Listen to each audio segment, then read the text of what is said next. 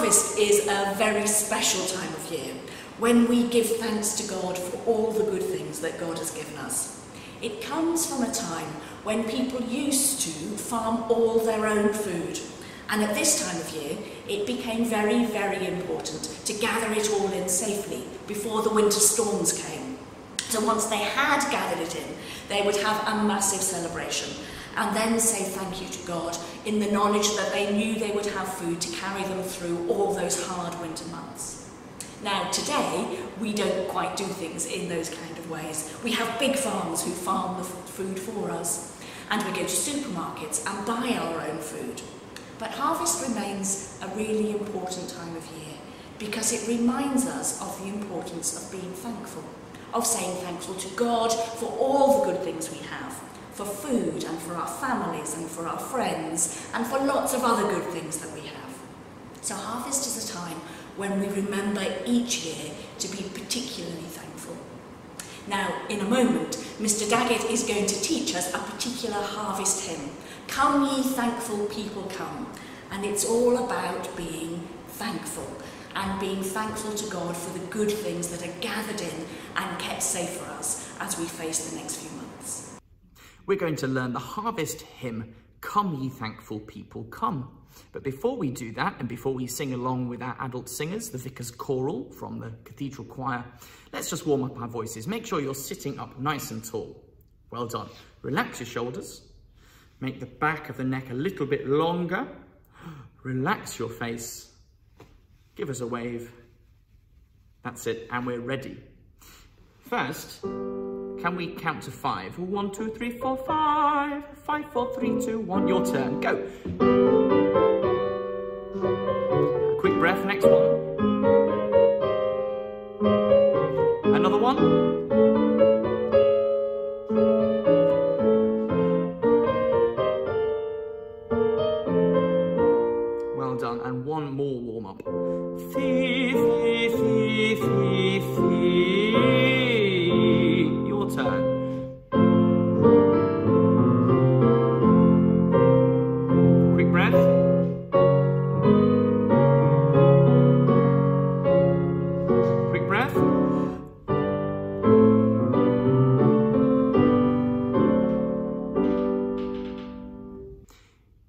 Is the tune. If you haven't seen music before, music is read from left to right and from the top of the page down to the bottom, just like you'd read a book. And we have five lines. If a note is higher on the five lines, guess what? It's a higher note. If it's lower on the five lines, guess what? It's a lower note. Have a look at the first couple of bars. We have this rhythm. Can you clap that with me? Now. When you see a dot after a note, it makes it a little bit longer. That's known as a dotted rhythm. Here's what the tune sounds like, the first part of it, and then we're going to play a game. The first note is start. If the second note goes up, you will sing up. If the following note goes down, you will sing down. If it's the same note, you'll sing same. So I'll give you an example. Where the first line goes like this. Start, same, up, down, down, up, up. Now, you may need to wind back and have another go at this another time. But let's see if we can do it. Here's what the tune sounds like.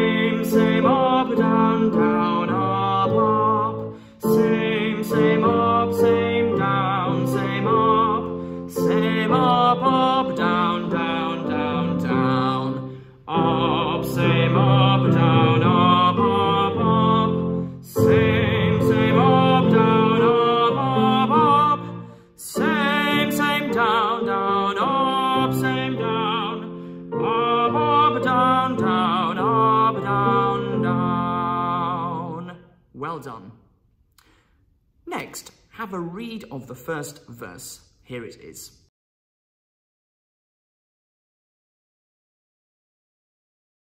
And now we're ready to sing with our Vicar's Choral. So sit up nicely, smile, and have fun.